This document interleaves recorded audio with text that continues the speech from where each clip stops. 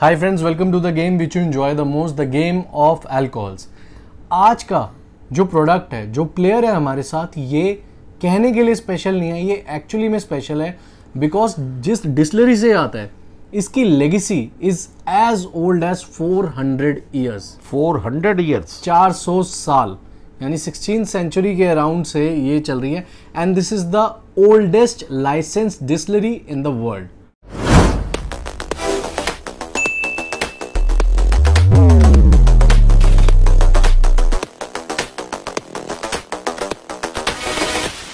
today the player of the game is Black Bush from Bushmills ये एक Irish blended whisky है और इसमें मॉल्ट्स का 75 परसेंट रेशो है 75 परसेंट जो कि काफ़ी हाई है। और जो कि इसको काफ़ी यूनिक बनाती है। बिल्कुल।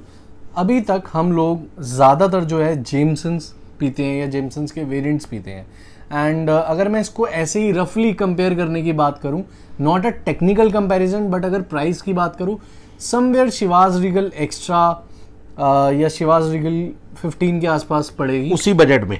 एक्चुअली एक्स्ट्रा के आसपास आई थिंक एक्स्ट्रा के आसपास पड़ेगी। उस बजट की है ये। तो it is not an introductory Irish whiskey.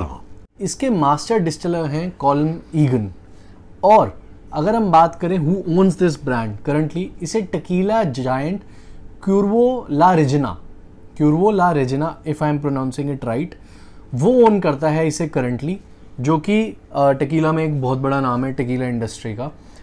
अगर हम बात करें इसके डिस्टिलेशन प्रोसेस की तो जैसे कि आप जानते हैं कि एक ब्लेंडेड विस्की है तो इसमें आपको ग्रेन विस्की और मॉल्ट विस्की दोनों मिलती हैं।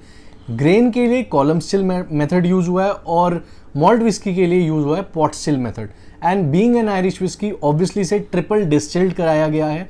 That is how Irish whiskeys are और इसको और क्या खास बनाता है? इसको खास बनाता है इसमें unmalted barley and malted barley दोनों यूज़ होता है। जैसे कि आप जानते हैं कि एक आयरिश विस्की में होता ही है and considering it is an Irish whiskey इसे एज कराया गया है तीन साल के लिए मिनिमम अब क्योंकि इस पर एज स्टैंडमेंट नहीं है तो ऑब्वियसली तीन साल ही होगा। लेकिन इसे एज कराया किसमें गया है? इसको एज कराया गया है एक्स शेरी और एक्स बर्बन कास्क में। और इसमें जो वाटर यूज़ हुआ है, वो बुश रिवर से ही लिया गया है। और जो इसके नाम के अंदर भी क्लियरली एविडेंट है जैसे कि बुश मिल्स डिस्लरी से आती है। अच्छा इस विस्की के जो वेरिएंट्स है उसके ऊपर अगर हम आते हैं जैसे कि आप देख रहे हैं ब्लैक बुश इससे एक वेरिएंट नीचे आता है जिसे हम कहते हैं रेड बुश इसका जो बेटर वेरिएंट है जो थोड़ा प्रीमियम वेरिएंट है वो है क्लासिक जो इसी के अंदर आता है बुश बुशमिल से। इसके सिंगल मॉल्ट्स भी आते हैं which is age for ten years sixteen years and twenty one years तो काफ़ी इंटरेस्टिंग प्रोडक्ट लाइन है इनकी। चलते हैं बॉटल ओवरव्यू पे। चलिए। आपको कैसी लगी ये बॉटल मुझे काफ़ी इंटरेस्टिंग लगी। It is very slim tall and in a way interesting है। देखते ही पता चल रहा है कि हाँ कोई यूनिक विंटेज सी चीज़ हमने पकड़ी हुई है। एंड uh, जैसे कि आप देख सकते हैं इस पर लिखा भी हुआ है that it is triple distilled यहाँ पर मेंशन किया हुआ है उन्होंने। और it is matured in sherry cask इन्होंने शेरी कास्क इसलिए मेंशन किया है क्योंकि majority of the time it is aged in sherry cask तो जो इम्पैक्ट है, वो शेरी कास्ट का ज़्यादा मिलेगा बर्बन का कम मिलेगा but if we go by technical terms तो ये दोनों में एज कराई जाती है। और अब अगर हम बात करें इस पर्टिकुलर बॉटल की this is a 700 hundred M bottle जिसका जो ए बी वी है दैट इज़ 40 परसेंट और प्राइस की बात करें, ये हमने गुड़गांव से ली थी एंड इसका जो प्राइस है that is thirty two hundred rupees and this is bottled in Ireland only और जैसे कि आप देख सकते हैं, काफ़ी ब्यूटीफुली डिस्लरी की तरह, और यहाँ पे इन्होंने डिस्लरी का जो एक स्टिल मेथड होता है डिस्टिलेशन मेथड होता है, वो भी मेंशन किया हुआ है एम्बॉसिंग में, और ईयर 1608 अगर ये कैप्चर हो रहा है तो तो काफ़ी इंटरेस्टिंग लगी एंड जैसे कि बताया कि this is bottled in Ireland makes it more special तो अब चलते हैं हम इसकी पोरिंग पर और देखते हैं क्या खास है इसमें। Let's play the game and for surprise इसके अंदर कॉक है।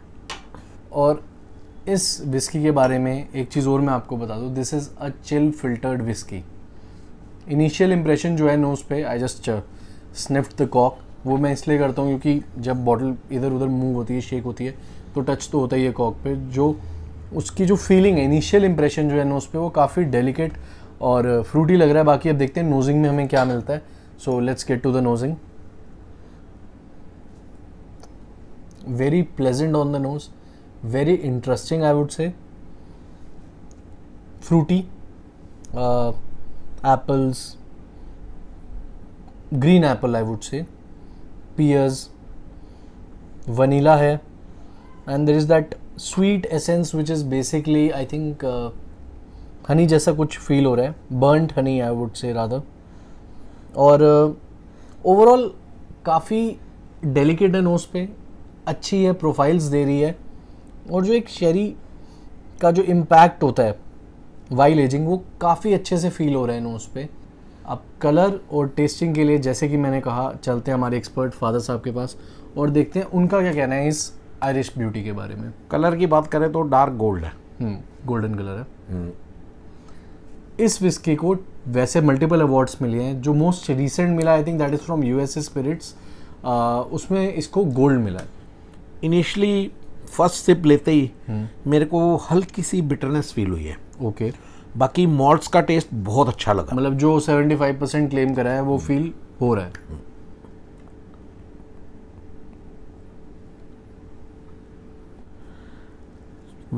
टेस्ट वाइज स्वीट है काफ़ी। और कैरेमल का टेस्ट बहुत अच्छा आ रहा है। अच्छा स्वीटनेस वही कैरेमल से आ रही है। और थोड़ी सी ना सिट्रसी फील हुई है मेरे को। ओके। तो प्रोफ़ाइल तो ठीक ठाक दे रही है मतलब ये। हल्की सी स्पाइसीनेस है। हल्की सी। हल्की सी। इंटेक पे बिल्कुल मक्खन बहुत ही स्मूथ जैसी कि आयरिश विस्की में होता है। एक एक्सपेक्टेशन जो हाँ, आयरिश बिल्कुल, बिल्कुल रहती है वैसे स्मूथ बटर क्रीमी बिल्कुल बटर क्रीमी है बिल्कुल। मक्खन एकदम। बिल्कुल मक्खन। तो मतलब ओवरऑल एक्सपीरियंस की अगर हम बात करें कंसिडरिंग कि इसका प्राइस थर्टी टू हंड्रेड है और देर इज़ अ नीड कि हम जेमसन और इन सबसे आगे बढ़ें। बुशमिल्स की single malt ten years old भी मिलती है। Uh, उसकी वीडियो जो हमने शूट करा था व्लॉग लास्ट डिस्कवरी वाइन्स का आप चाहे तो वो भी देख सकते हैं। अब अगर बात करें आपका इसका एक्सपीरियंस कैसा रहा इस ब्लेंड का? ये एक कॉम्प्लेक्स विस्की है। ठीक है। और ये अगर स्कॉच की बात करें तो उससे ये डिफरेंट फील देती है। फीलिंग थोड़ी अलग फीलिंग डिफरेंट है। ठीक है। और एक चीज़ और कहना चाहूँगा कि इसका टेस्ट धीरे धीरे डेवलप होता है। ओके और अगर हम बात करें इसकी रेटिंग की कंसिडरिंग ये थर्टी टू हंड्रेड की है तो आप इसे क्या रेटिंग मैं इसको नाइन पॉइंट दूँगा। मतलब ये इतनी अच्छी विस्की है कि इसमें लेयर्स काफ़ी आ रही है ना। लेयर्स हैं। हाँ। और एक ब्लेंड के अंदर इतने लेयर्स होना और थर्टी टू हंड्रेड के हिसाब से ठीक ठाक मतलब अच्छी परफॉर्मेंस है इसकी। हाँ। Nine is a very good rating और आयरिश विस्की लवर्स के लिए I think it's high time कि हम जेमसन से आगे भी बढ़ें। सो so, आगे बढ़ने के लिए अगर सिंगल मॉल्ट में जाना है तो बुशमिल टेन भी अवेलेबल है। और भी काफ़ी सारी अवेलेबल है लेकिन जो अभी मेरे को याद आ रही है रेड ब्रेस्ट ट्वेल्व भी है वो इंडिया में कितनी ईजिली अवेलेबल है वो नहीं पता। लेकिन अगर ब्लेंडेड में जाना है this is a very good option thank you so much for watching this video keep loving us do subscribe to our channel And remember, drinking is not just about the glass, but the class पीना भी एक kala hai. Till then, cheers.